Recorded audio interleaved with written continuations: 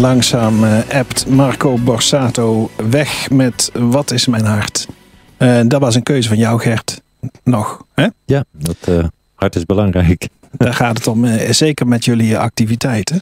Wat is de, de zogenaamde toegevoegde waarde die je hier kunt, over kunt vertellen? Bedoel je nu voor het bedrijf? Ja. Ik, ik bedoel, wat, wat heb ik er dan aan? Als bedrijf? Ja. Ja, nee, dit is uh, eigenlijk wel veelkleurig. Um, bedrijven kunnen eigenlijk op een hele leuke, legitieme manier aan hun klanten vragen: joh, deel wat over mij, wat je, wat je goed vindt en mooi vindt.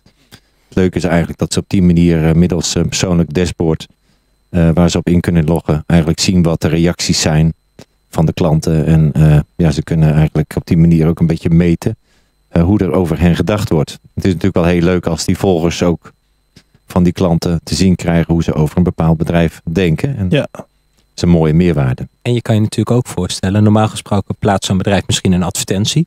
Kost ze waarschijnlijk nog meer geld ook. Zeker. In zo'n advertentie zeg je altijd, ik ben heel goed. Dat is toch wel een beetje waar een advertentie over gaat. Hè? Wij hebben de allerlekkerste ijsjes bijvoorbeeld. Maar nu zeggen klanten dat over jou. Ja, dat is natuurlijk ook heel mooi. Ja, dat is, dat is uh, natuurlijk iets beter. Ja? Klanttevredenheid is toch wel optimaal. En uh, zeker als ze dat gaan zeggen dan eh, heeft dat zeker een toegevoegde waarde voor een bedrijf. Maar, de, uh, zeg maar uh, is het een stichting? De... Nee. Nee, we zijn gewoon een normale BV. Ja. En dat zijn we ook omdat we gewoon onafhankelijk willen blijven en op een creatieve manier, zowel voor de ondernemer een meerwaarde willen creëren als voor de kids, voor de maaltijden. Maar hoe weet ik dan uh, waar dat geld, uh, of dat inderdaad uh, terecht komt waar jullie zeggen dat het terecht komt? Want de BV, daar hoef je eigenlijk niet zoveel van te publiceren. We zullen alles op de site ook daadwerkelijk publiceren. En we zijn de samenwerking aangaan met UNICEF. Waarmee we ook de afspraak hebben dat dus van ieder bericht dat er wordt gedeeld, 20 cent naar UNICEF toe gaat. En 5 cent is dan voor de ontwikkeling van de app.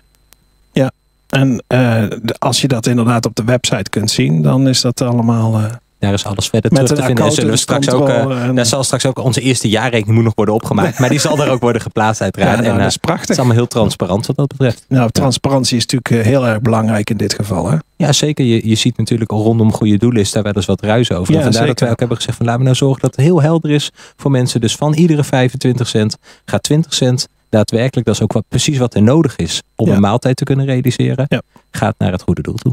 Leuk is denk ik ook nog wel even om te noemen dat eh, nou ja, voor bedrijven, je vroeg naar de meerwaarde, ehm, ze ook hiermee laten zien, jongens, we zijn ook sociaal betrokken. We knokken voor onszelf, maar we knokken ook voor de kids. En eh, op deze manier in, in ruil eigenlijk voor een leuk stukje reclame is dat prachtig.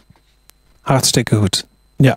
Eh, als het direct inderdaad op de website staat en alles, dan eh, is dat helemaal prima. Dan gaat het doel alleen maar helpen.